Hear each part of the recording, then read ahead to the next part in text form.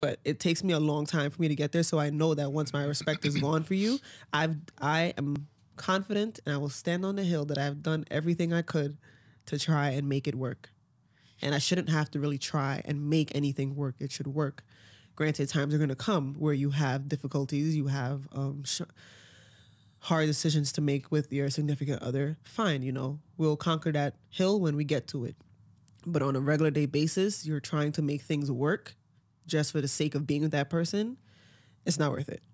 Because you're going to resent them in the end, and that is what ended up happening with me. And I wish it didn't, because I don't like to resent people, and I don't like to hold people, have people have that part of me like, dang, I don't want to see this person, I don't want to hear this person breath, don't breathe my air. I don't want to have to get there with anybody.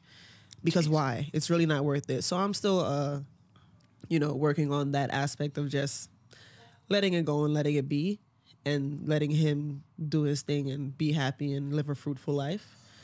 But yeah, that was it. The the it was the losing respect thing. I just it was gone. So it was time to go. Did time play a factor in it? Like, as in you were in there, the relationship for three years. was the fact that it's been three years? Um, what I'm trying to say is, did you know a lot sooner that and then you just stayed because it was like yeah. you know it's been three years you know? Yeah. I knew after the first um criminal activity that he oh there's criminal activities in here. Okay. Stop. i won't call it criminal activities. We're not about to say whatever that, that makes it sound crazy. But i i knew after the first um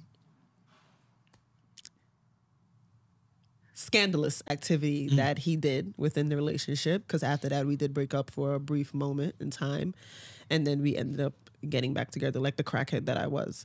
So you know, after normal. that time, I should have known better because I always said it to myself, and this is why I I understand when people say, "Don't say never."